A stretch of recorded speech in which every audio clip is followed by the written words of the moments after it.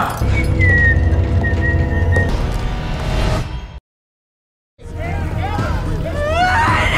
miss something and you don't know why you miss it.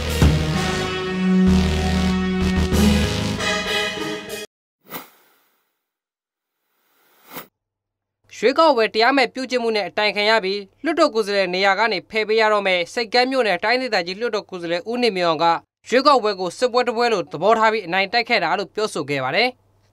ချွန်လာ17ရက်နေ့ကကျင်းပခဲ့တဲ့ရန်ကုန်တိုင်းဒေသကြီးလွတ်တော်အရေးပေါ်အစည်းအဝေးအပြီးမှာမီဒီယာတွေရဲ့မေးမြန်းမှုကိုပြန်လည်ဖြေဆိုရမှာသူကထည့်သွင်းပြောဆိုခဲ့တာပါရွေးကောက်ပွဲဆိုတာကဘာလဲဆိုလို့ရှိရင်တော့ဟိုတနည်းအားဖြင့်ကိုယ့်ရဲ့အမြင်ကိုပြောရရင်တော့ဟိုကဟိုစစ်ပွဲတစ်ပွဲကိုတက်လိုက်ရတဲ့အတိုင်းပဲလေဒါသူနိုင်ကိုနိုင်အပြိုင်ကျဲရတဲ့လုပ်ငန်းပဲအဲ့တော့ရွေးကောက်ပွဲမှာကိုလိုခဲ့တဲ့လုပ်ငန်းတွေအကုန်လုံးဒီပြည်သူကိုစီယုံခဲ့တာအဲ့တော့စီယုံနေဆိုတာဘာလဲဆိုရင်တော့ ပြည်သူကိုကိုယ့်ကိုယုံကြည်လာအောင်ကိုယ့်ကိုအားကိုးလာအောင်ကိုလိုခဲ့တဲ့လုပ်ငန်းတွေပဲ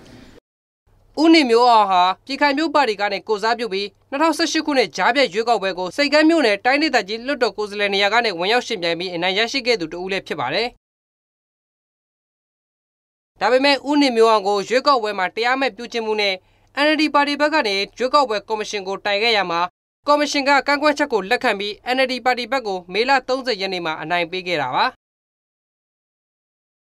ကော်မရှင်ရဲ့လုပ်ငန်းသဘောတဘာဝအရဦးနေမျိုးအောင်ဘက်မှအယူခံဝင်ခွင့်ရှိနေတာကြောင့်လွှတ်တော်ကိုယ်စားလှယ်နေရာကိုအပိတိုင်လက်လွတ်ရခြင်းတော့မရှိသေးပါဘူး။အမိန့်ချမှတ်ပြီး15ရက်အတွင်းအယူခံဝင်ခွင့်ရှိတာကြောင့်ရှင်းနေတွေနဲ့တိုင်ပင်ပြီးအယူခံဝင်သွားမယ်လို့သူကဆိုပါတယ်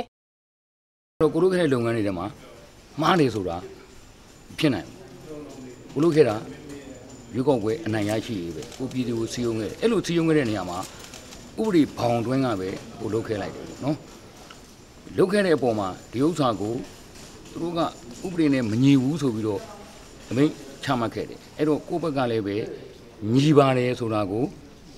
ပြန်လဲဒါအယူခံဝင်ခွင့်ရှိတယ်ဒီလောက်လေးပဲပြောလိုပါတယ်ညီ2018ဂျားပြရွေးကောက်ပွဲမတိုင်ခင်စိတ်ကမ်းမဲဆန္ဒနယ်အတွင်းမှာငွေချင်းငှားမှုလုပ်ငန်းတွေကိုလှုပ်ဆောင်ခဲ့ပါတယ်ဒီလိုကိစ္စတွေလှုပ်ဆောင်အောင်မှာဥနေမျိုးအောင်ပါဝင်ပတ်သက်ခဲ့တဲ့ဆိုပြီး NLD ကိုယ်စားလှယ်ဦးတန်းထိုက်အောင်ကကော်မရှင်ကိုကန့်ကွက်လာတင်သွင်းခဲ့တာဖြစ်ပါတယ် ကျွန်တော်ဇီယာမော်ပါ